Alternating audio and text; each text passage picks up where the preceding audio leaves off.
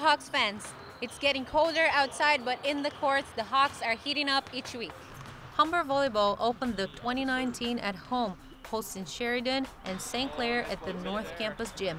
The women's team swept the Bruins for their third straight win, led by a game high 14 points from Alex Kirstanisic.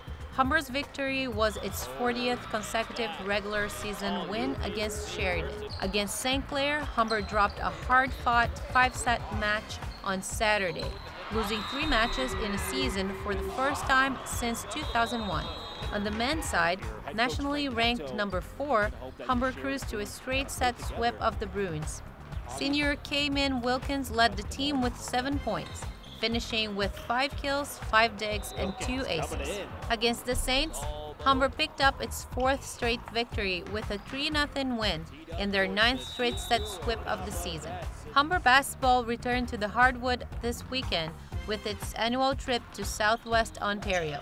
Trailing by four after the opening frame, number 12 women's basketball cruised to an 84 to 66 over St. Clair. Senior Laura Meadows finished with a career high 23 points for the Hawks. At Lambton, the Hawks ran past the Lions, winning their 10th straight game with an 87 to 50 victory. Maya Campbell Johnson recorded the fifth double double of the season, finishing with 21 points and 11 rebounds. The men's team used the 33 point second quarter to open 2019 with a 9 6 66 victory over the Saints. Jayla Morgan scored 18 points in the frame, finishing with a team high 23 points on 88.9% shooting from the floor.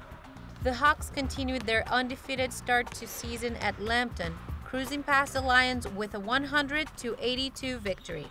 Humber picked up its 11 straight wins to begin the year and improved to 71 0 all times in regular season when they surpassed the century mark.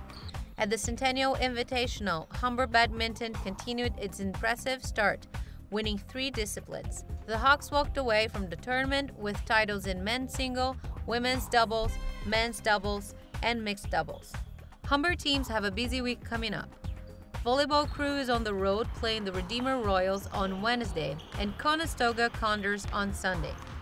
At the same dates and times, Hawks basketball teams are back to the nest playing against U of T Mississauga and Fanshawe Falcons.